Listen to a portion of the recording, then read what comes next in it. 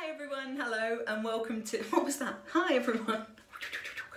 Um, it's like I was like throwing something quickly, playing cards.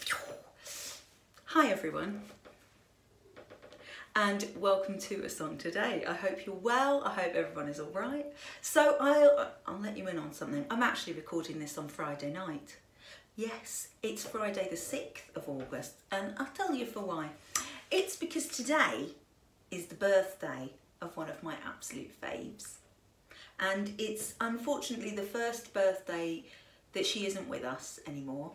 Uh, it's Barbara Windsor's birthday. I know it's also Lucille Ball's, but um, it's Barbara Windsor's birthday today, and I love Barbara Windsor. I just think she's brilliant. I've loved the Carry On films since I was tiny, and by all accounts, my friend Jeffrey says she was absolutely lovely. Um, I should be wearing tons of Shalimar because that was her favourite perfume, Guerlain Shalimar. Uh, but I'm not, I don't have it. and um, yeah, I never got to meet her. You know, fellow East Londoner, um, but I was so close, so close. I know, I think I related this in December, but I was in a queue for an hour to get her autobiography signed down Walthamstow Market, and I had to go on a school trip. It was an evening school trip, and I had to go on that. So I had to leave the queue because I didn't get to her before I had to go to the station.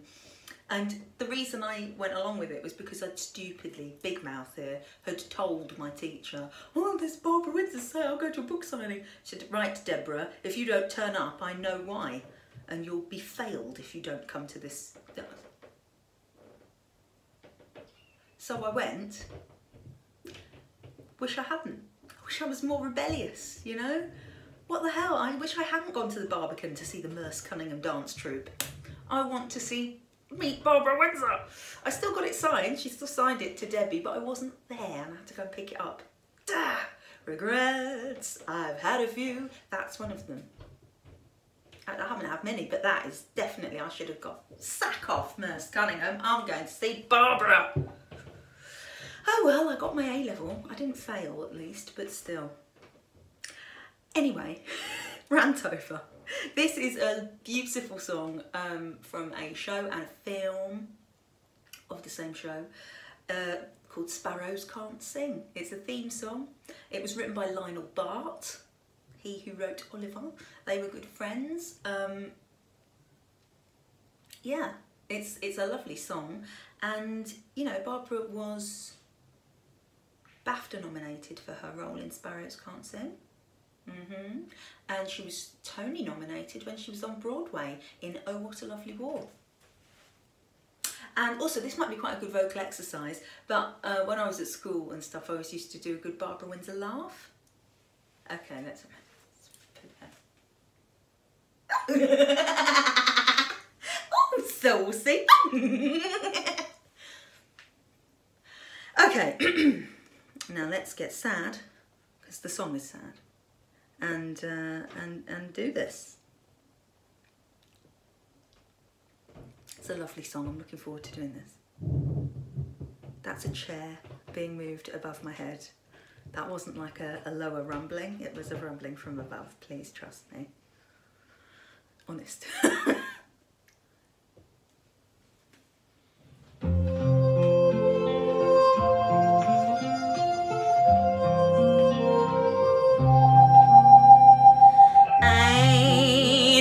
shame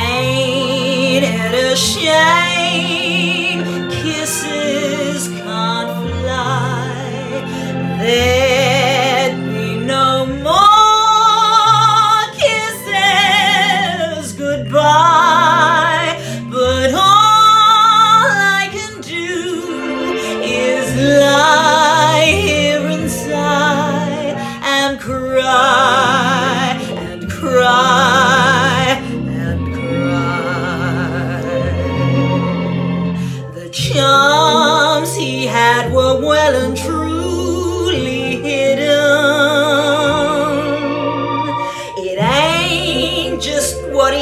it's what he didn't. He didn't say.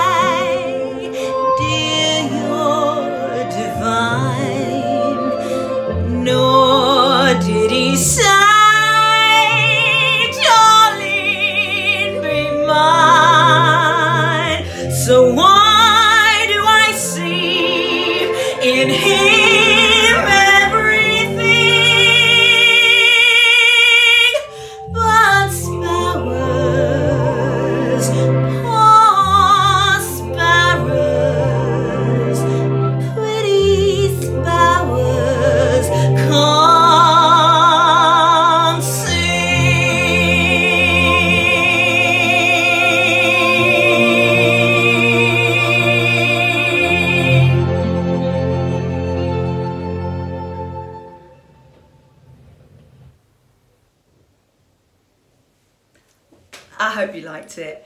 Um, if you've never seen any Barbara Windsor films, check her out. You might have without realising it. The boyfriend with Twiggy, she's in that. She's the does the French maid song and all that. Um, like Judy, she's also four foot eleven or four foot ten and a half. Barbara was too. Um, size two shoe. She used to get her Jimmy Choos made especially for her by Jimmy Choo in a in a titchy titchy size two. Um, which is a European, I don't know, a four is a 37, that's me. So then 36, a 35. Um, yeah, but yeah, great. I love Barbara Windsor and happy birthday, Babs. So I hope you like this song. It's a lovely one by Lionel Bart. Uh, my friend Johnny likes Lionel Bart. And um, yeah, I hope you enjoyed it and I'll see you all again in a few days. Bye. I'm going to try and convince John to watch Carry On film tonight.